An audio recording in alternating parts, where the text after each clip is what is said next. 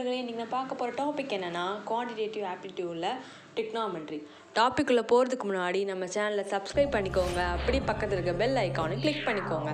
வாங்க ஃப்ரெண்ட்ஸ் டாப்பிக்குள்ளே போகலாம் ஃபஸ்ட்டு வந்துட்டு டெக்னாமெண்ட்ரி பார்க்கறதுக்கு முன்னாடி அது வந்து ஒவ்வொரு sine cos tan cot cosecant sec இது நம்மளுக்கு தெரியும். ஸோ ஒவ்வொன்றுக்கும் வந்துட்டு எவ்வளோ என்ன வேல்யூ அப்படிங்கிறத ஃபஸ்ட்டு பா பார்க்கணும். அப்போ தான் வந்து சம்ஸ் நம்மளுக்கு ஈஸியாக இருக்கும். ஃபஸ்ட் வந்து zero degree thirty forty five sixty அப்புறம் நைன்ட்டி ஃபஸ்ட்டு வந்துட்டு சைனோட ஃபஸ்ட் வேல்யூ மட்டும் நம்ம ஞாபகம் வச்சிட்டோம்னா மற்றெல்லாம் ஈஸியாக பண்ணிடலாம்.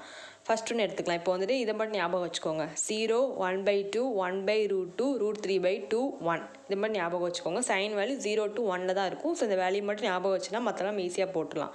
அதை போட்டோன்னா காசுக்கு அது அப்படியே ரெசிப்ரோக்காக எழுதுங்க இங்கேருந்து எழுதுங்க ரிவர்ஸில் எழுதுங்க. ஒன் அப்படின்னு சொல்லி ரிவர்ஸில் எழுதுனா இது வந்துடும் டேனோட வேல்யூ நம்மளுக்கு தெரியும். சைன் பை காஸ் தான் டேன் அப்படின்னு. ஸோ அதை வந்துட்டு இப்போ வந்துட்டு சைன் பை காஸ் எப்படி எழுதலாம்? ஜீரோ பை ஒன் வந்துட்டு ஆல்வேஸ் ஜீரோ ஸோ ஜீரோ வந்திருக்கு.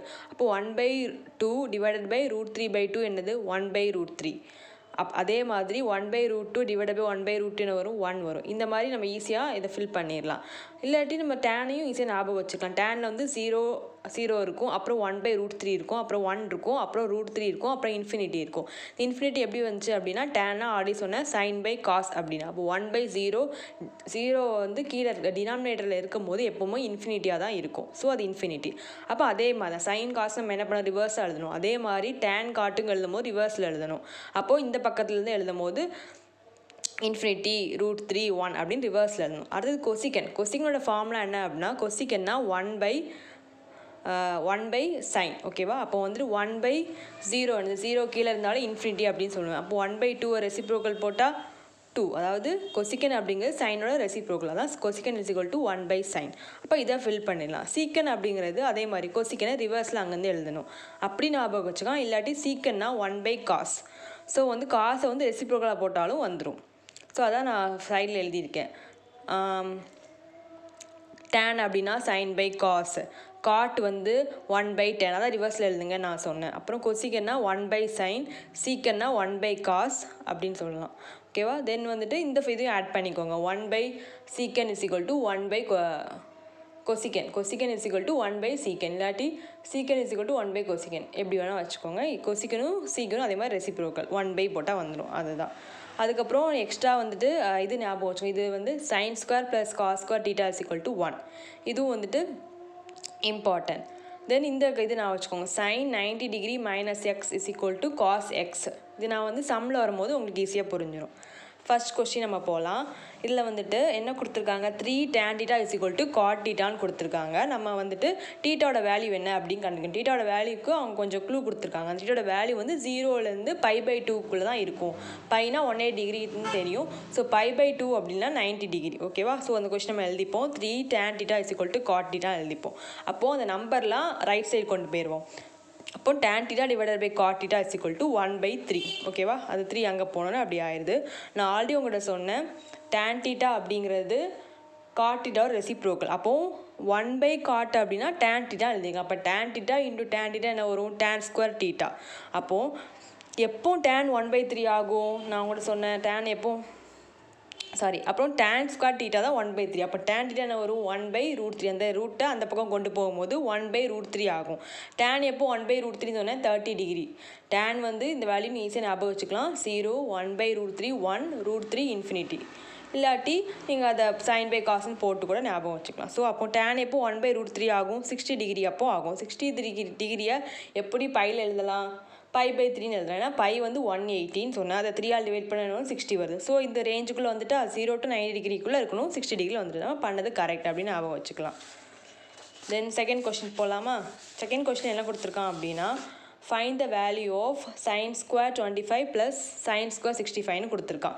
ஸோ நம்ம ஆல்ரெடி பார்த்ததை வச்சு நம்ம பண்ணி பார்க்கலாம். இப்போ சிக்ஸ்டி ஃபைவ் அப்படிங்கிறது நைன்ட்டிக்கு பக்கத்தில் இருக்குது ஸோ நம்ம எப்படி எழுதலாம்னா சிக்ஸ்டி ஃபைவை ninety degree minus twenty five டிகிரின்னு எழுதலாம். நான் ஆல்ரெடி சொன்னேன் சைன் நைன்ட்டி மைனஸ் எக்ஸ் வந்து சைன் காஸ் எக்ஸ் அப்படின்னு சொன்னேன். அதான் பக்கத்தில் எழுதியிருக்கேன். அப்போது இது எப்படி எழுதலாம்? காஸ் ஸ்கொயர் டுவெண்ட்டி ஃபைவ் எழுதலாம். நான் ஆல்ரெடி ஒரு குவான்டி இது என்ன சொன்னேன்? Sine square x plus cos square x வந்து ஒன் அப்படின்னு சொன்னால் அப்போ ஆன்சர் ஒன் இது ஈஸி தான். ஸோ நீ பார்த்தோன்னே உங்களுக்கு தோணுனா அது ஈஸியாக பண்ணிடலாம் அடுத்தது. அடுத்து அதே மாதிரி ஒரு வேல்யூ கொடுத்துருக்காங்க. இதுக்கு வந்து நீ இப்படி இந்த மாதிரி கொடுத்து டீட்டாவோட வேல்யூ என்ன கேட்டாங்கன்னா உங்களுக்கு தெரியும். நம்ம ஏதாவது ஒரு வேல்யூ சப்ஸ்டியூட் பண்ணி பார்க்கலாம். பண்ணி ஆன்சர் கண்டுபிடிச்சோம் இப்போ டீட்டாக்கு ஜீரோ போட்டு பார்ப்போம். ஜீரோ போட்டு பார்த்தா சைன் ஜீரோ ஜீரோ நம்மளுக்கு தெரியும். ஆல்ரெடி எங்கள் டேப்லெட் காலம் பார்த்தோமா? காஸ் ஜீரோ வந்துட்டு ஒன் சைன் ஜீரோ வந்துட்டு அகெயின் ஜீரோ மைனஸ் வந்து அப்படியே அந்த வேல்யூ சப்ஸ்டியூட் பண்ணணும் நம்மளுக்கு என்ன ஆன்சர் வருது? ஜீரோ வருது. இப்போது சைன் சிக்ஸ் ஜீரோ இங்கே வரும்.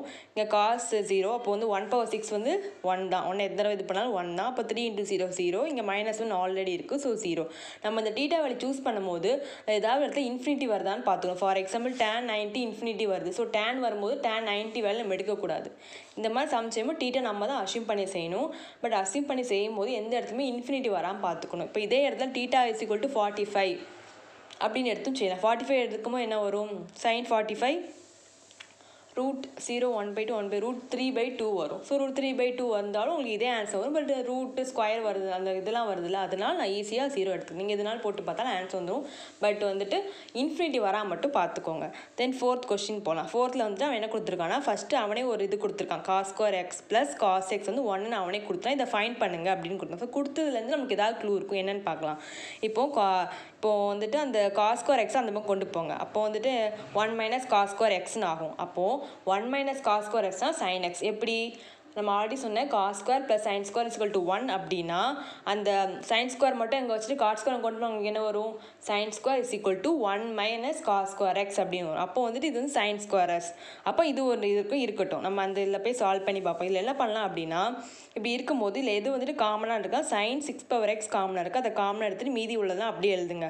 அப்படி எழுதும் போது இங்கே சிக்ஸ் இருக்கா? ஸோ இங்கே டுவெல் இருக்குது அப்போ மீதி சிக்ஸ் இங்கே இருக்கும். அது சிக்ஸ்னால் இங்கே பவர் ஃபோர் வரும். இங்கே சிக்ஸ் இருக்குது அப்போ இங்கே எயிட் இருக்குது அப்போ பவர் டூ தான் ரிமைனிங் இருக்கும். ப்ளஸ் ஒன் இந்த சிக்ஸ் பவர் சைன் சிக்ஸ் எக்ஸை வெளியே எடுத்தாச்சு. ஓகேவா அதுக்கப்புறம் இதை நம்ம பார்த்தோன்னா இது என்ன ஃபார்முலா கீழே வருது அப்படின்னா A cube plus B cube கீழே வருது. அதாவது A cube plus B sorry A plus B the whole cube ஃபார்ம்னால வருது. ஏ ப்ளஸ் பி ஹோ இந்த ஹோல் கியூபோட ஃபார்முலா என்ன அப்படின்னா A cube plus B cube plus three A B square plus three A square B அந்த ஃபார்மேட்டில் உள்ள ஏ வந்து நம்ம எது வேணால் எடுத்துக்கலாம். ஏ வந்துட்டு சைன் ஸ்கொயர் எக்ஸ்னும் பியை வந்துட்டு ஒன் எடுத்துக்கிட்டோம் அப்படின்னா ஃபார்முலானா ஏ கியூப்ஸ் என்ன? ஒன்னை கியூப் பண்ணால் ஒன் தான். ஸோ ஒன் எழுதிக்கோங்க. சைன் ஸ்கொயர் எக்ஸை கியூப் பண்ணால் டூ பவர் த்ரீ எப்படி வரும்போது டூ சிக்ஸ்னு வரும். ஸோ சிக்ஸ் இங்கே இருக்குது இந்த இருக்குது அதுக்கப்புறம் தெரிஞ்சுன்னா த்ரீ ஏ ஸ்கொயர் பின்னு சொன்னேன். த்ரீ ஏ வந்துட்டு இங்கே என்ன சொன்னால் சைன் ஸ்கொயர் எக்ஸ் அது ஸ்கொயர் பண்ணது சைன் பவர் ஃபோர் எக்ஸ் வருது. பி வந்து ஒன் ஸோ அது அப்படி தான் இருக்கும். Plus three A B square சொன்னேன் ஏ வந்து சைன் ஸ்கொயர் ஸோ அப்படியே இருக்குது பி வந்து ஒன்னா ஸோ அதில் எந்த மாற்றமும் இல்லை. ஸோ அப்படி தான் ஃபில் பண்ணிக்கோம். என்ன formula A plus B the whole cube formula A cube plus B cube plus three A B square plus three A square B அதை அப்படி சப்ஸ்டியூட் பண்ணியாச்சு. இப்போ சைன் பவர் சிக்ஸ் வெளியே இருக்குது ஸோ வந்து அந்த கியூப்குள்ளே உள்ளுக்குள்ளே கொண்டு வந்தால் என்ன வரும்? டூ பவர் த்ரீ வந்துட்டு சிக்ஸ் ஸோ வந்துட்டு இங்கே பவர் த்ரீ இருக்கிறதுனால இங்கே டூவாக அது உள்ளுக்கு வருது. உள்ளுக்கு வந்தாச்சு. அதுக்கப்புறம் என்ன பண்ணலாம்னா உள்ளுக்கு கொடுத்து மல்டிப்ளை பண்ணும். பண்ணும்போது sine square x into sine square x sine power four x இதை ஒன்னால் மல்டிப்ளை பண்ணும்போது sine square x the whole cube ஓகேவா இப்போ இந்த இடத்துல என்ன பண்ணோம் அப்படின்னா இங்கே நம்ம கண்டுபிடிச்சி வச்சிருக்கோம். அப்படி தானே காஸ் எக்ஸ் தான் சைன் ஸ்கொயர் எக்ஸ் அப்படின்னா. சைன் ஸ்கொயர் இருக்க இடத்துல ஃபுல்லாக காஸ் எக்ஸ் போடுறோம். இப்போ sine square எக்ஸ்னா cos x first one sine power four x sine sine square x தான் காஸ் எக்ஸ் அப்போ சைன் பவர் ஃபோர் எக்ஸ்னா காஸ் ஸ்கொயர் எக்ஸ் ஸோ இது எழுதியாச்சு. பட் கொஷினில் கொடுத்துருக்கான்னு பாருங்கள் cos square x plus cos எக்ஸ்னு ஒன்னு கொடுத்துருக்கோம். ஸோ ஒன்னுன்னு போட்டு ஒன் தான் இதோட ஆன்சர் அப்படின்னு நம்ம ஃபைன் பண்ணியாச்சு. நெக்ஸ்ட் ஃபிஃப்த் கொஷின் போகலாம் ஃபிஃப்த்தில் என்ன அப்படின்னா வேல்யூ ஆஃப் அவன் வந்துட்டு இந்த வேல்யூ என்ன கண்டுபிடிங்கன்னு கொடுத்துருக்கான். ஸோ இப்போ இப்படி இருக்கும்போது ரெண்டும் ஒரே இதாக மாற்றணும் அப்போ காசை வந்துட்டு நைன்ட்டி மைனஸ் சைனாக மாற்றணும் அப்போ வந்துட்டு ninety minus seven nineteen degree தான் செவன்ட்டி ஒன் ஸோ அப்படி எழுதிக்கோங்க. அதே மாதிரி மேலே காஸ் நைன்ட்டி மைனஸ் செவன்டீன் தான் காஸ் செவன்ட்டி த்ரீ எப்படி எழுதலாம்? காஸ் நைன்ட்டி மைனஸ் செவன்டீன் எழுதலாம். நம்மளுக்கு இன்னொரு ஃபார்ம்லாம் தெரியும். காஸ் நைன்ட்டி மைனஸ் எக்ஸ் வந்து சைன் எக்ஸ் அப்படின்னு சொல்லி தெரியும். இதை ஞாபகம் வச்சுக்கோங்க. ஸோ அப்போ காஸ் நைன்ட்டி மைனஸ் செவன்டீன் வந்து sine x cos ninety minus nineteen வந்து சைன் நைன்டீன் அப்போ அதை அப்படி எழுதிக்கோங்க. எழுதிட்டு இப்போ ரெண்டுமே இப்போ மேலே sine nineteen sine nineteen cancel ஆயிரும் one sine seventeen sine seventeen cancel ஆயிரும் one so one plus one is equal to two அதான்.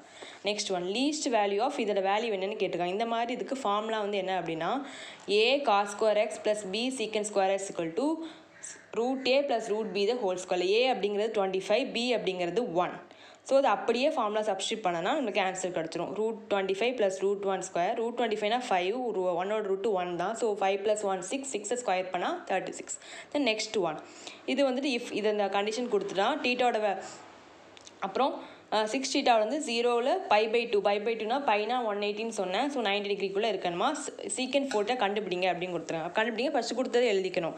எழுதும் போது அது இதே ரெண்டு வேறு வேறு இருந்துச்சு ஒரே இதுக்காக மாற்றணும்னு சொன்னேன்னா so tan ninety minus theta வந்துட்டு காட் டீட்டா ஓகேவா சாரி ஆமாம் கா tan ninety minus theta cot theta தான் பக்கத்தில் எழுதுங்க. Sir ninety minus x is equal to cot x எழுதிங்க. ஸோ இதை கா டேனாக மாற்றும் போது நைன்ட்டி மைனஸ் டூ டீட்டா அப்போ ரெண்டு பக்கமும் டேன் இருந்தால் அது உள்ளுக்குள்ளே ஈக்குவேட் பண்ணலாம். பண்ணிவிட்டு அந்த டூ டீட்டாவை இந்த பக்கம் கொண்டு வந்தால் எயிட் டீட்டா அப்புறம் அந்த டூவால் டிவைட் பண்ணும்போது four theta it's to forty five அப்போ ஃபோர் டீட்டா ஃபார்ட்டி ஃபைவ் கண்டுபிடிச்சோம் இப்போ கொஸ்டின் என்ன கேட்டிருக்கான்? சீக்கன் ஃபோர் டீட்டா கேட்டிருக்கான். அப்போ சீக்கன் ஃபார்ட்டி ஃபைவ் என்னது? ரூட் டூ நம்ம அந்த டேப்லெட் காலம் பார்த்துட்டோம். ஓகே ஃப்ரெண்ட்ஸ் இந்த வீடியோ உங்களுக்கு பிடிச்சிருந்தா லைக் பண்ணுங்கள் ஷேர் பண்ணுங்கள் சப்ஸ்கிரைப் பண்ணுங்கள் தேங்க்யூ